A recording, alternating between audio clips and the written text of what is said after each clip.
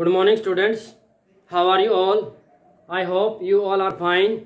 and you are doing your study very well. Dear students, last time we have discussed about some numerical problems based on Planck quantum theory and electromagnetic theory and photoelectric effect. Dear students, today we are going to study next topic that is emission and absorption spectrum emission and absorption spectrum so before studying before starting the topic so we are going to discuss some basic terms related to spectrum emission and absorption spectrum so dear students when we studied about the electromagnetic spectrum after electromagnetic wave theory then we found that electromagnetic radiations are of different wavelength and different frequencies आपने electromagnetic spectrum में ये देखा था कि left से right जब हम move कर रहे हैं तो वेव लेंथ जो है वो क्या होती जा रही है वो इंक्रीज होती जा रही है और फ्रीक्वेंसी क्या होती है वो डिक्रीज होती जा रही है so dear students electromagnetic radiations जो है डिफरेंट वेवलेंथ और डिफरेंट फ्रीक्वेंसी की होती है to separate these electromagnetic radiations of different frequency and wavelength the instrument use is called as spectroscope और स्पेक्ट्रोग्राफ सबसे पहले हम करेंगे electromagnetic spectrum electromagnetic spectrum consist of consist of electromagnetic radiations electromagnetic radiations of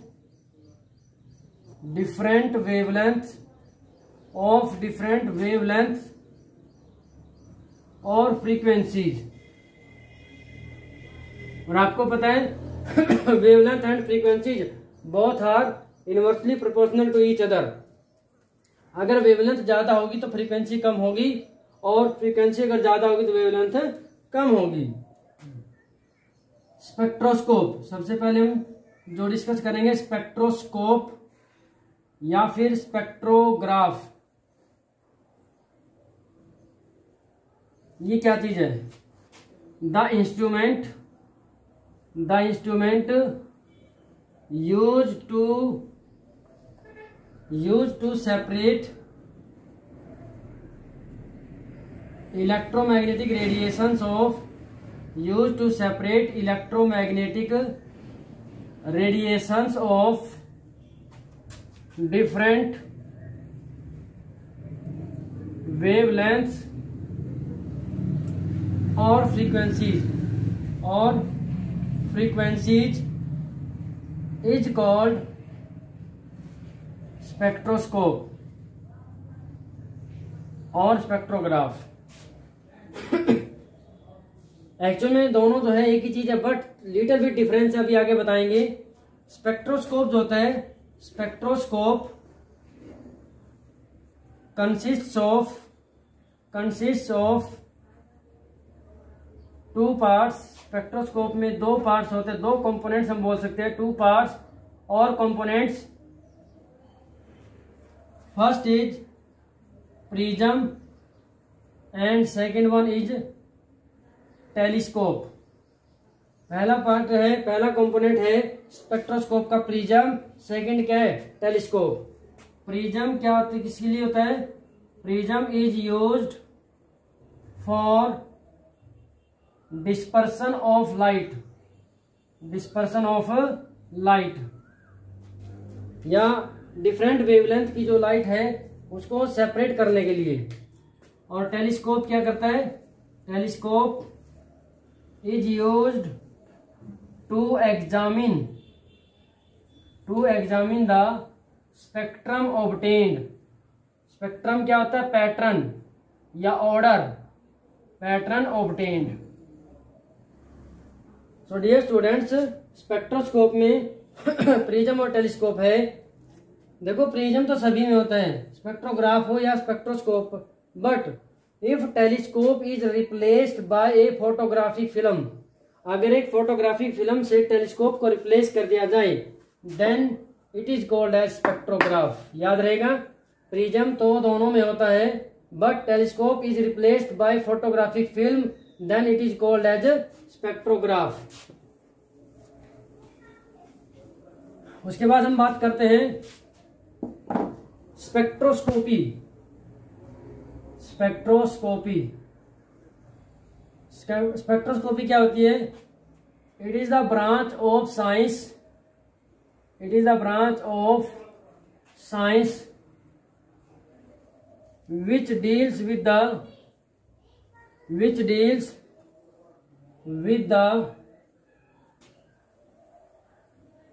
spectrum of electromagnetic radiations spectrum of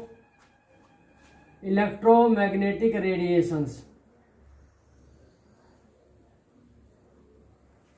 is called spectroscopy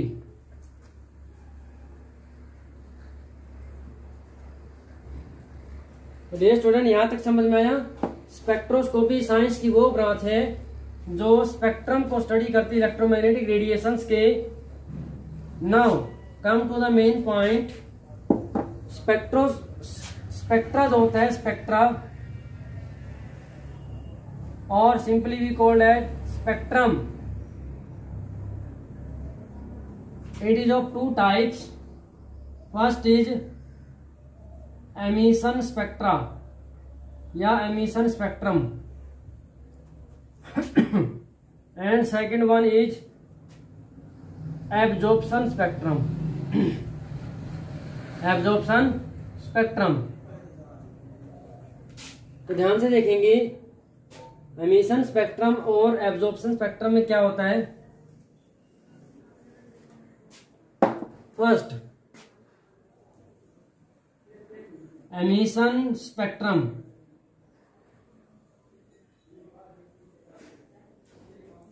when any source of light any source of light light का source कोई भी जैसे कि sun और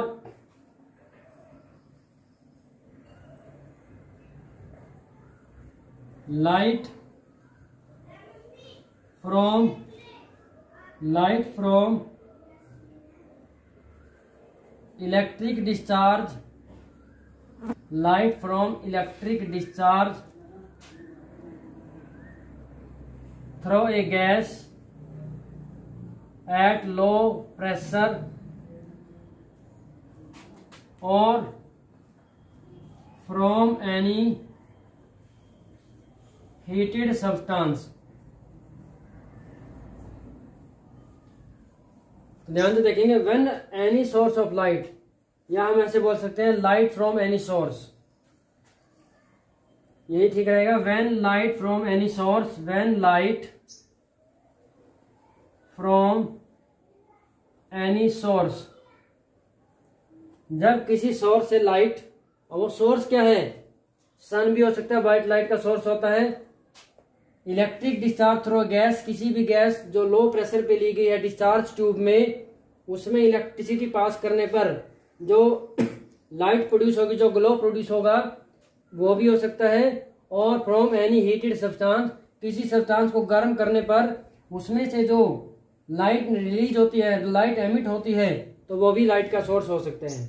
when light from any source out of these is passed directly is passed directly through prism directly through prism and then examine and then examine on the photographic plate examine on the photographic plate then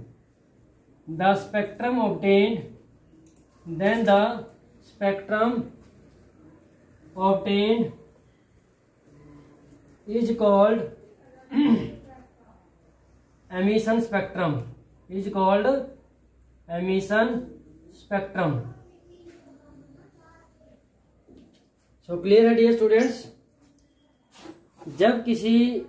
source से light directly prism पर पड़ेगी और फिर prism से pass होने के बाद light को फोटोग्राफिक प्लेट के ऊपर जब डाल के एग्जामिन किया जाएगा एनालाइज किया जाएगा तो जो पैटर्न या ऑर्डर या स्पेक्ट्रम जो बनेगा उसे हम क्या बोलते हैं एमिशन स्पेक्ट्रम बोलते हैं I think this is clear next emission spectrum further is of two types emission spectrum जो है it is further of two type first is continuous spectrum continuous spectrum and second one is line spectrum line spectrum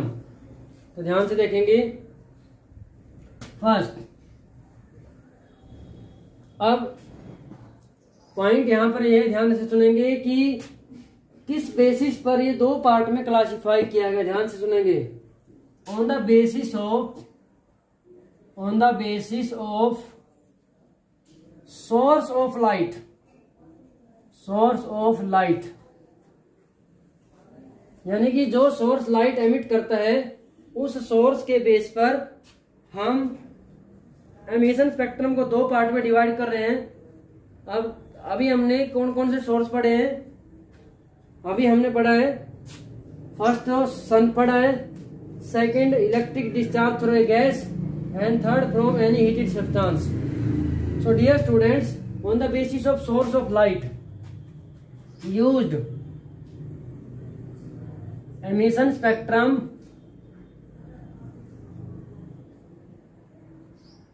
is of two types is of two types और वो type कौन सी है continue spectrum and line spectrum अब हम one by one इनको study करते हैं कि कॉन्टिन्यू स्पेक्ट्रम क्या होता है और लाइन स्पेक्ट्रम क्या होता है first continuous spectrum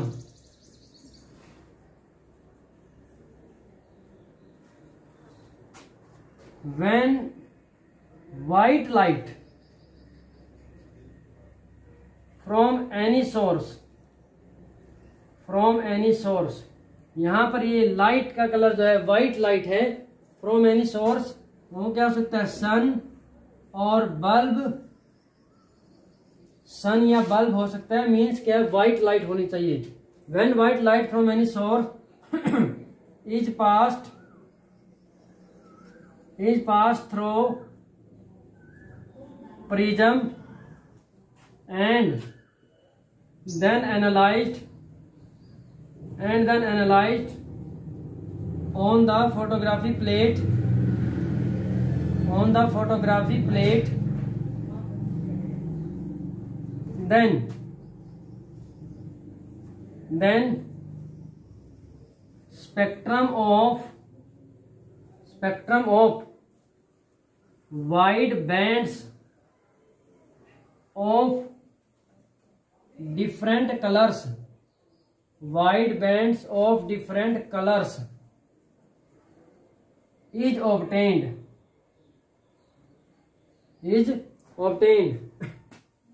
and the colors obtained and the colors obtained are so continuous are so continuous that they merge with each other they merge with next they merge with next colour then spectrum then spectrum obtain is called question क्या बोलेंगे continuous spectrum continuous spectrum तो इस continuous spectrum का आपको diagram जो बना करके दिखाते हैं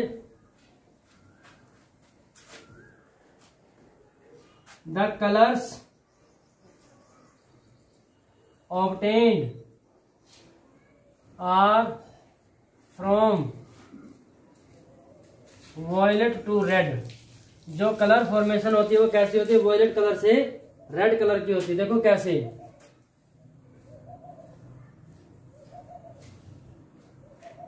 ये क्या है वाइट लाइट है white light from any source यहां पर हमने क्या लगा दिया है स्लिट स्लिट स्लिट क्या करती है फाइन बीम जो है बीम ऑफ लाइट के तो बहुत सारी रेडिएशन या रेज होती है उनमें से पार्टिकुलर नैरो गैप होता है बीच में तो एक पार्टिकुलर रेज डायरेक्ट जाती है सीधी and it pass on the prism it falls on the prism prism के ऊपर जब ये फॉल करती है then it gives it gives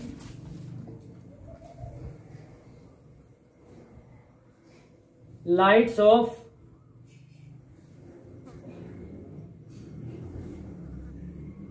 different colors V I B G Y O R V I B G Y O and last में is R इसको हमने क्या बोला वीप ग्योर इसको साइड में बना के दिखाते हैं फोटोग्राफिक फिल्म के ऊपर इसका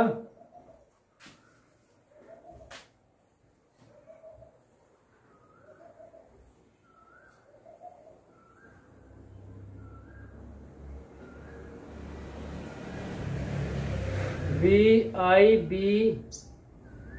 G Y O R dear students मैंने यहां पर ये से डार्क है सारे ये मैंने लाइन बनाई है आपको समझाने के लिए बट जब आप कलरफुल देखते हैं एक्चुअल में बीच में लाइन नहीं होती these colours are so mixed these colours are so continuous ये इतने कॉन्टिन्यूस होते हैं एक दूसरे के अंदर मिले होते हैं next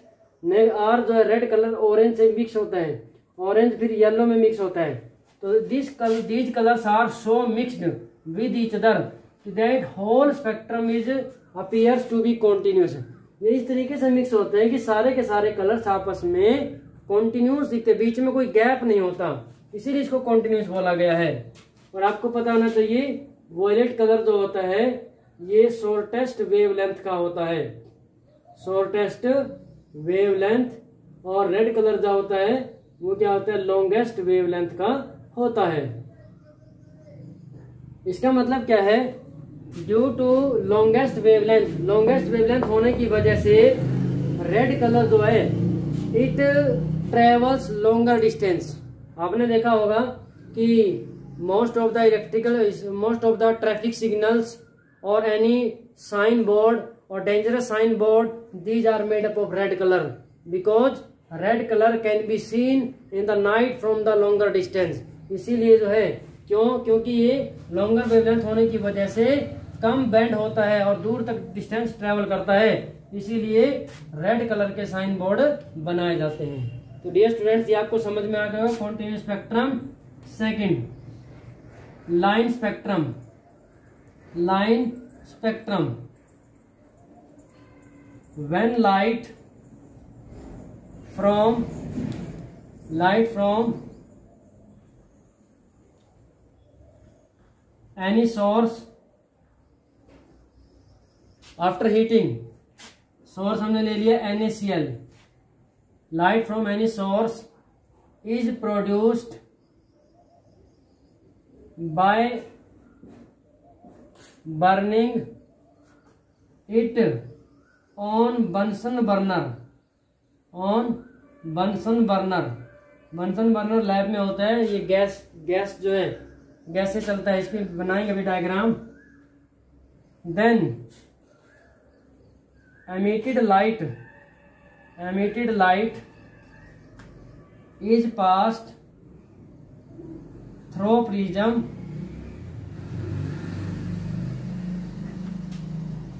middle light pass through prism and analyzed and analyzed on photographic plate on photographic plate then and analyzed on photographic plate then no continuous spectrum then no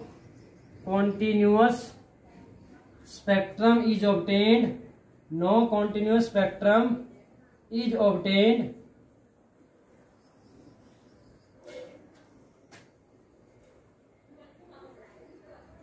rather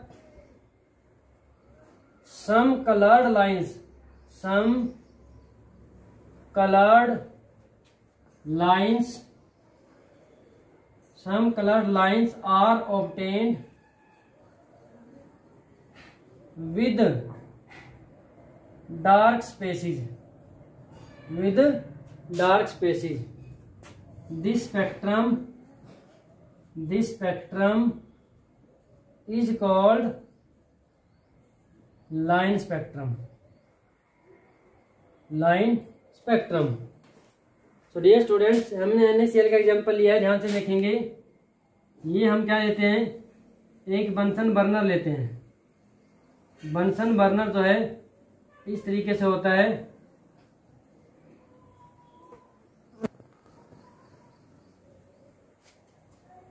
यहाँ से इसमें जो है गैस की पाइप होती है और ये हॉल होता है एयर के लिए पासिंग के लिए तो ये जैसे हमने एन लिया है इसको हमने यहाँ पर बर्न किया तो इससे जो लाइट प्रोड्यूस हुई then this light is pass slit लगाई यहाँ पर then it is passed on the prism prism को ऊपर इसको पास किया then he found that it gives light of it gives two colored lines colored line one and coloured line two बाकी क्या ये डार्क स्पेस होता है बीच में ये कलर्ड लाइन्स होती हैं टू कलर्ड लाइन्स ये है five eight nine six angstrom और five eight nine zero angstrom तो ध्यान से देखेंगे स्टूडेंट्स ये बाकी सारा स्पेस कैसा रहता है ये डार्क स्पेस रहता है और मैं इस तरीके से डिनोट कर रहा हूँ इसको और two coloured lines are obtain किस केस में इन केस ऑफ एनएसीएल है ये two coloured lines in case of NaCl है एंड एनएसीएल को जब बर्न करते हैं तो यहाँ से जो लाइट प्रोड्यूस होती है दिस इज येलो लाइट ये कैसी होती है येलो लाइट अब आप कहोगे हमें कैसे पता चलेगा येलो लाइट है dear students colour of light produced it is the characteristic property of the substance अलग अलग सब्सटेंस अलग अलग कलर की लाइट प्रोड्यूस करते हैं सोडियम येलो कलर की लाइट प्रोड्यूस करता है पोटासियम वॉयलेट कलर की लाइट प्रोड्यूस करता है तो इस तरीके से जो भी सब्सटेंस बर्न करने पर जिस भी कलर की लाइट प्रोड्यूस करेगा और जब उस प्रिज्म में से पास करते हैं तो वो जो रेडिएशन है ये स्प्लिट हो जाएगी नंबर ऑफ लाइंस में और स्पेक्ट्रम के ऊपर हमें कॉन्टिन्यू स्पेक्ट्रम नहीं मिलता हमें क्या मिलता है लाइन कलर्ड लाइंस मिलती हैं with dark spaces and important point क्या है each line corresponds to different wavelength each line of spectrum spectrum की हर एक लाइन जो होती है corresponds to corresponds to particular wavelength particular wavelength जैसे कि सोडियम के केस में पहली लाइन जो है five eight nine zero angstrom पर है दूसरी line five eight nine six angstrom पे है और ये स्टूडेंट्स यहां पर हमने white light burner Bunsen burner के ऊपर जो है एन को बर्न किया तो येलो कलर की लाइट यहां से प्रोड्यूस हुई है इसके अलावा आप डिस्चार्ज भी ले सकते हैं electric discharge through a gas for example H two gas यहां पर ली और इलेक्ट्रिक डिस्चार्ज पास किया तो इसमें से जो लाइट प्रोड्यूस हुई उन लाइट रेज को अगर प्रिज्म पे फॉल कराएं तो then what we see large number of lines are obtained large number of lines are obtained hydrogen gas के केस में नंबर ऑफ लाइन जो है प्रोड्यूस होती हैं तो आप इलेक्ट्रिक डिस्चार्ज से या बंसन बर्नर के ऊपर बर्न करके जो लाइट प्रोड्यूस होती है उसको प्रिज्म से पास करेंगे then you will observe on the photographic plate then spectrum will be form in form of number of lines and number of lines जो है it depends upon the nature of substance कि substance में कितनी line आएंगी सप्तांश के ऊपर depend करता है तो इस तरीके से जो स्पेक्ट्रम बनता है उसे हम क्या बोलते हैं लाइन स्पेक्ट्रम बोलते हैं और each line corresponds to particular wavelength is it clear next absorption spectrum next is absorption spectrum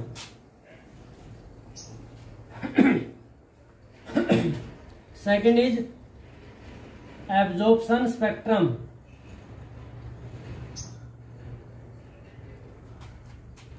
इसमें भी क्या है when white light when white light from any source from any source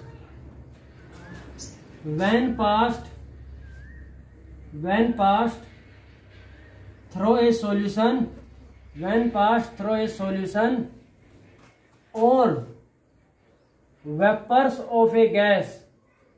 vapours of a gas and then transmitted light and then transmitted light is passed through prism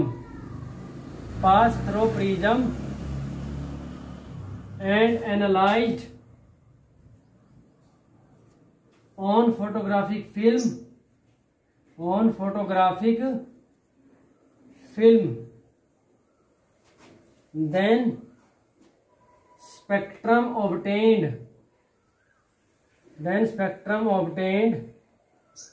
is in form of in form of dark lines ये ध्यान से देखेंगे in form of dark lines present dark lines present in a particular region in a particular region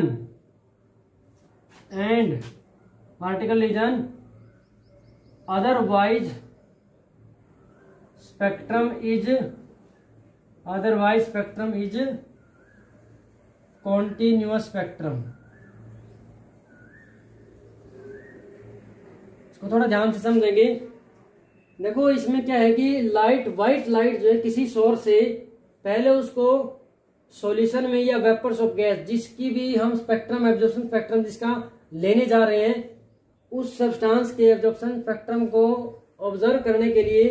या तो उसे solution की form में लेंगे या वेपर ऑफ गैस की फॉर्म में तो पहले व्हाइट लाइट को उस सॉल्यूशन या वेपर ऑफ गैस में से पास करेंगे डायग्राम से आप समझेंगे ये क्या वाइट लाइट का सोर्स है स्लिट लगाई यहाँ पर लाइट को पहले किसमें से पास किया for example N A C L solution की बात करते हैं यहाँ पर हमने N A C L solution लिया और इसमें से पास होने के बाद जो ये लाइट आई है इसे बोला गया ट्रांसमिटेड लाइट इसे क्या बोला गया है ट्रांसमिटेड लाइट तो जब ये ट्रांसमिटेड लाइट इसको प्रिजम के ऊपर फॉल कराते हैं then then it split into number of lines और जो फोटोग्राफी फिल्म के ऊपर जो स्पेक्ट्रम बनता है उसमें देखें हमारे पास क्या था with ग्योर V V I D G Y B G Y O R so dear students आपको पता है सोडियम जो है येलो कलर की लाइट जो है प्रोड्यूस करता है और टू लाइन शो करता है तो देखो यहाँ पर जो येलो कलर की लाइन है येलो कलर का रीजन है उसमें दो लाइन्स आएंगी वही फाइव एट नाइन सिक्स और five eight nine zero otherwise क्या रहेगा विद डार्क ये लाइन्स क्या these are dark lines with spaces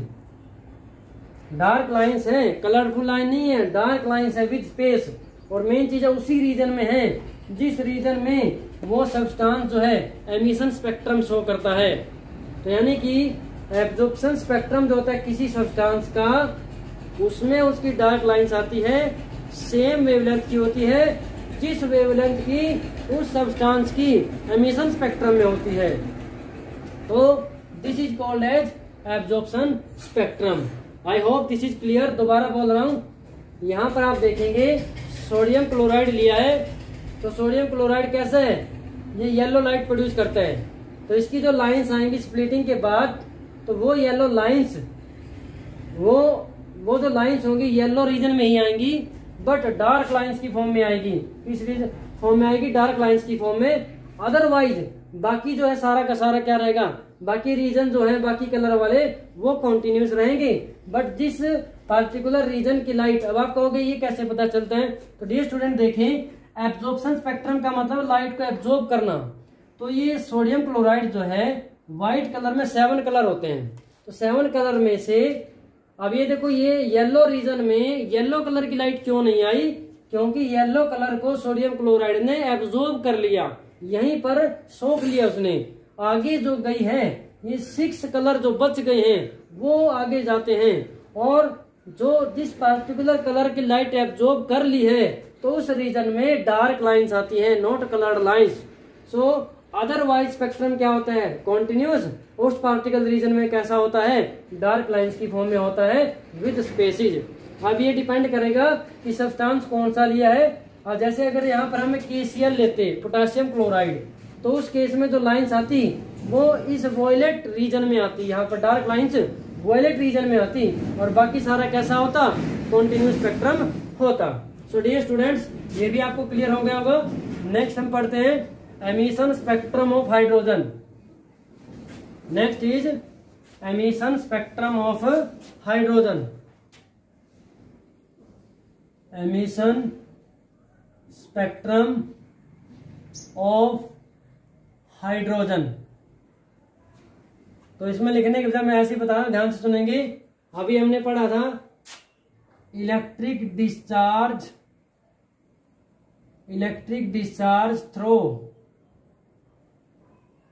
H two gas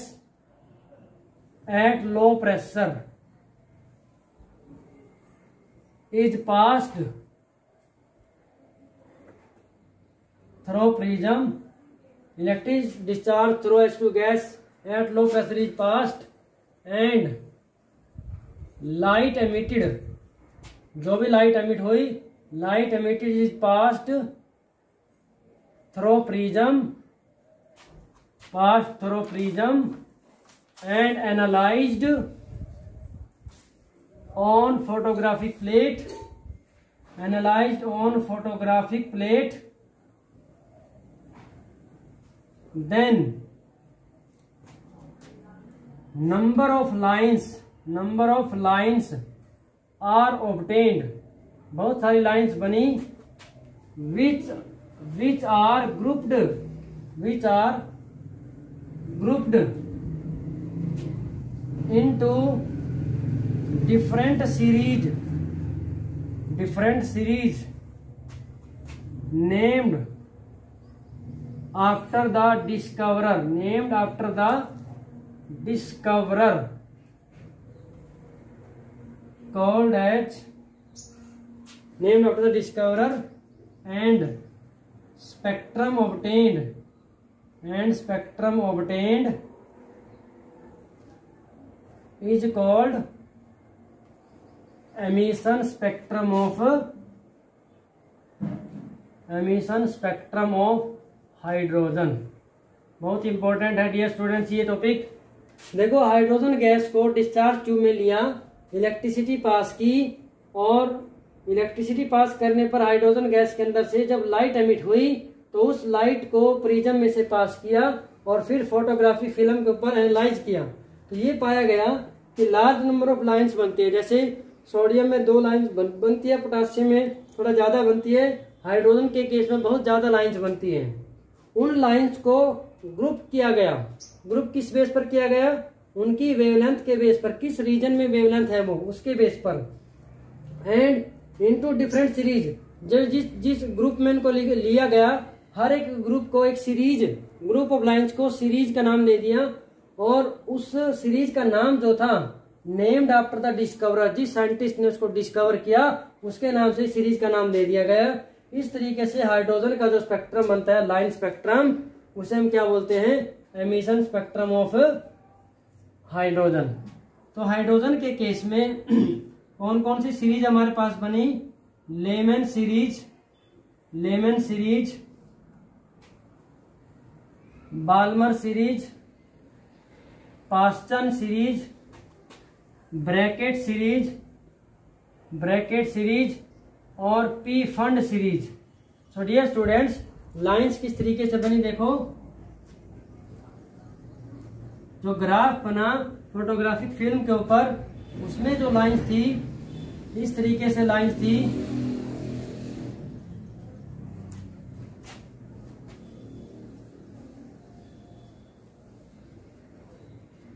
इस तरीके से बहुत सारी लाइंस बनी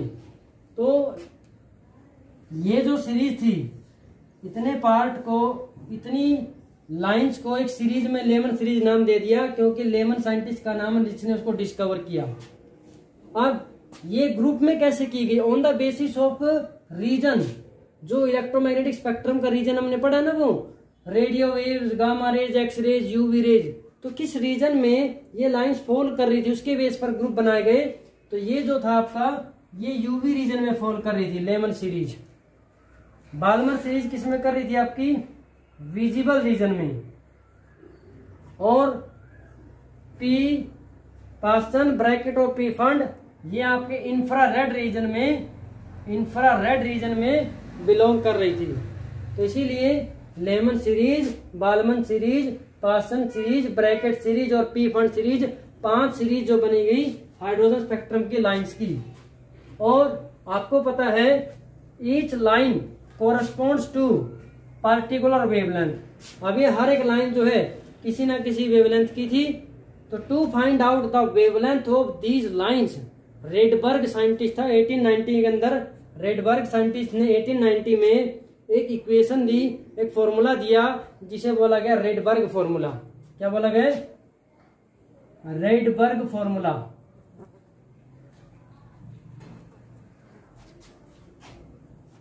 Rydberg gave an equation to find the wavelengths of lines produced in hydrogen spectrum. Actually in equation wave number was present wave number was present actually जब उसमें wave number प्रेजेंट था और वेव नंबर क्या होता है wavelength का opposite होता है तो अकॉर्डिंग टू फॉर्मूला फॉर्मूले में क्या था wave number nu bar is equal to R into one by n one square minus one by n two square R क्या था रेडबर्ग कांस्टेंट आर का नाम क्या है रेडबर्ग कांस्टेंट और इसकी वैल्यू थी one zero nine six seven seven per centimetre या फिर one one point point zero nine zero nine multiply ten एस्ट power second per metre ten एस्ट power seven पर मीटर और एन वन एन टू क्या थे n one and n two are whole numbers ये क्या थे whole numbers थे and those values those values were different for particular series इनकी जो वैल्यूज थी वो पार्टिकुलर सीरीज के लिए कैसी थी डिफरेंट थी कैसे लेमन सीरीज के लिए L Y M Lyman series Lyman series के लिए एन वन की वैल्यू वन थी और एन टू की वैल्यू टू थ्री फोर कुछ भी हो सकती है बालमर सीरीज में एन वन की वैल्यू टू थी और एन टू की वैल्यू थ्री फोर फाइव उसके बाद पास्टन सीरीज़ पासन सीरीज में एन वन की वैल्यू थ्री थी और एन टू की वैल्यू फोर फाइव सिक्स और ब्रैकेट सीरीज में थी ब्रैकेट सीरीज में एन वन की वैल्यू फोर हो गई